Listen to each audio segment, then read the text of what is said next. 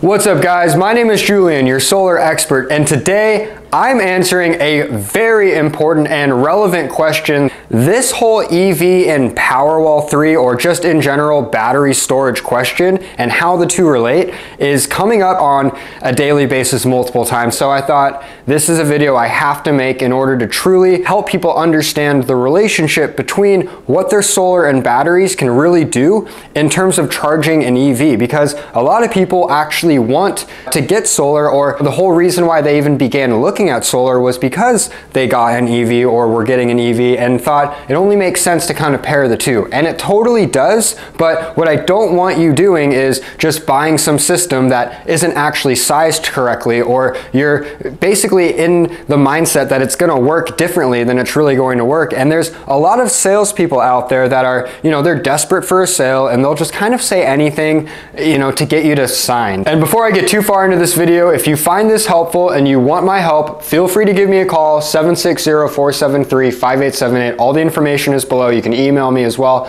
Check out the information below. All right, so there's a lot of people going solar with the intentions of being able to just charge their whole EV with solar, but Unfortunately, this is not the case, and so I'm gonna break this down super easily. I have four whiteboards uh, to explain this. So let's just start off with the first whiteboard here.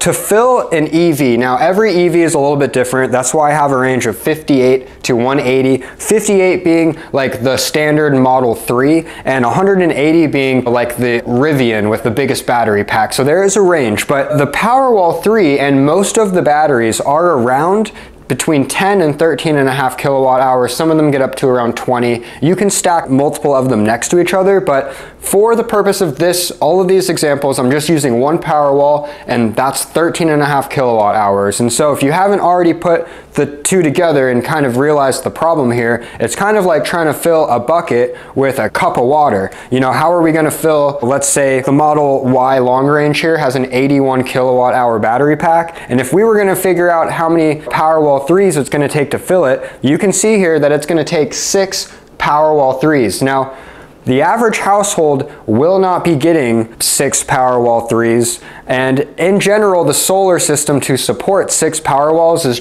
ginormous. It's way bigger than what the average house's roof can even handle. So this is obviously not uh, going to be realistic for just charging your car from zero to 100 just with your solar and batteries if you're trying to do that all in one night. It's just not realistic. All right, let's go on to the next board to kind of compare some of these different cars and see the different battery sizes in each car. Putting some of these popular EVs in comparison to the Tesla Powerwall 3, the numbers in red here is the kilowatt hour battery pack. So uh, going with the standard Model 3, it has a 58 kilowatt hour battery pack. That's basically 4.3 Powerwall 3s. This Model S Plaid has a 100 kilowatt hour battery pack. You can see that's over seven Powerwall 3s. This Rivian has a range of between 106 and I, I just read that the new 2026 model, which it's unbelievable that they're already announcing that uh, in mid 24, but um, that's gonna have up to a 180 kilowatt hour battery pack, which is absolutely insane. That's over 13 Powerwall 3s it would take to fill it. And then of course the Cybertruck, you know, that Cyber Beast that everyone wants, that's right between 120 and 123 kilowatt hours. And as you can see, that is a little bit over nine Tesla Powerwall 3s to fill it. So obviously, like I said in the previous board, no one is really going to have, I mean, unless you're on like a, a, farm or a big ranch or, you know, you have a mansion or something, you're, you know, you're not really going to have probably more than three power walls. And so how are we going to kind of get around this problem? There is a somewhat solution, but there's not a end all solution currently if you basically need to charge your car in full from close to zero to 100 every night and you're just going to be charging from your garage and hoping that you're going to have all the power from the batteries. It's just not realistic. So let's go over a couple of factual statements and strategies in order to help you get the most out of your solar in relation to charging your EV all right, so the first thing that I want you to kind of think about is in your mind, think of one Powerwall 3 as in 13 and a half kilowatt hours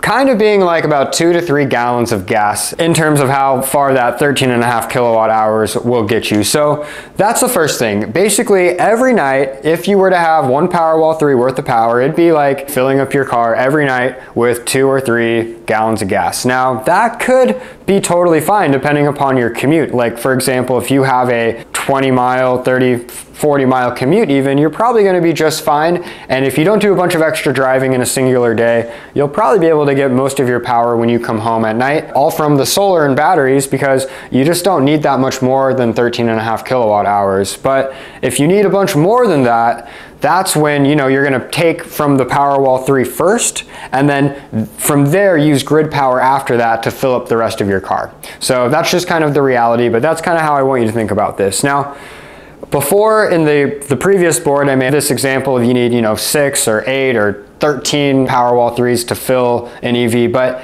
you're not gonna have that many Powerwall 3s in reality. The average house is only gonna have one or two. A big system, like maybe over 12 or 13 kilowatts, maybe gets into the range of a third Powerwall 3. So most are really gonna just have one or two. And that Powerwall 3 is also sharing the load with the house. And so you could not even have a full Powerwall or two full Powerwall 3s to drain into a car. It could be 75% depleted before you even really start charging your car depending upon the day or time of year. So there's lots of different factors that are gonna affect really how much you're gonna be left for the car. Okay, so generally speaking, you cannot charge. I really want to make sure that everyone understands this because most people think they're just going to get the batteries and then they can kind of do whatever they want. They can charge from the solar, charge from the grid.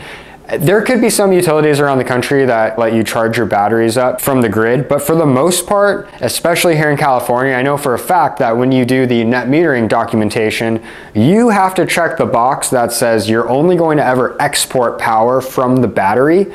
So what that means is unless it's emergency storm scenario where you can get a quick charge from the grid, that's the only time they'll let you. Other than that, you need enough solar power to even feed into your batteries to fill them up. Having a ton of batteries and not enough solar, I think of as like having rainwater barrels outside of your house in a place where it doesn't rain that much. They're there, it's great in theory, but are they ever gonna be filled up? And you're going to probably use that power or, or, that, that water at a much quicker rate than what you get, you know, on a daily basis or obviously it's not the perfect analogy, but the point is that you're basically going to have batteries that sit empty for the most part or barely get a charge that's worth much of anything. So just having more batteries isn't necessarily the answer. You need the right amount of solar panels to charge up those batteries. All right, so let's flip the board over here. Basically, the mindset that you have to adopt here is that even with solar and batteries, you're not, most likely not, going to get all of your power from the solar and batteries when charging your EV. It's just not realistic. So you have to kind of be in the mindset that if you are looking to be as efficient as possible in terms of pulling green power from your solar panels into your EV, you're gonna have to be very careful about watching the app and watch it drain power. And the minute the battery is out of juice, you want to stop charging because it's gonna automatically start taking power from the grid in that case. This is obviously not to be realistic for everyone's lifestyle. You know, some people they won't have a choice. You got to fill up your car, you got to you got to drive. But if you have the opportunity to kind of be careful and you, you want to be conscious about it, it's to require just a little bit of managing your charging behavior from the app. Also, when I'm doing my consultations and helping people size their systems and batteries, I always like to really ask them, you know, how much do you like to charge out in public charging stations, superchargers, and then in general as well, what time of day are you really charging at your house because depending upon time of day, you may or may not really need extra batteries for that charging if you can be uh, diligent with your schedule. So this is a very important statement here because it depends on the situation, but it may totally make sense to cover your charging through a battery, but it also may not be financially incentivizing at all. You know, for example, if you're in a place that has a one-to-one -one net metering agreement, I'm kind of jumping the gun and talking about it here, but if you're in a one-to-one -one net metering, you don't even want to be thinking about trying to charge your car from a battery, just take the grid power, send the credits back in the daytime, and then take your power at night when you need it. You're getting a one-to-one -one credit. You're net zeroed out anyways if you have enough solar production. If that's not the case though, it may not make sense at all even if you're not in a one-to-one -one area, but it may not make sense at all to charge your car from battery because you have different times of day. And if you're, for example, charging in the middle of night, which is usually the cheapest time of day, it may not be less expensive to get that power from your solar and batteries, whereas in the middle of the day when they're charging a fortune for that power, especially in the evening time during peak hours, it could be much less expensive to get that power from the solar or the batteries. And so it depends upon your situation. I don't expect you to figure it all out. That's my job. So give me a call if you, you know, if you need help. That, that's why I'm here. All right, look guys, I know this is all pretty confusing. I've been doing this for seven or eight years now almost, and I still am trying to learn all of this stuff and explain it in the simplest fashion as possible. So I work in over over 30 states, so do not hesitate to reach out. My number is right here, 760-473-5878. You can also email me at juliansolarguide at gmail.com. All the, the, information is right below in the description. You can also fill out the form and just save a bunch of time and we'll call you back and get started right away.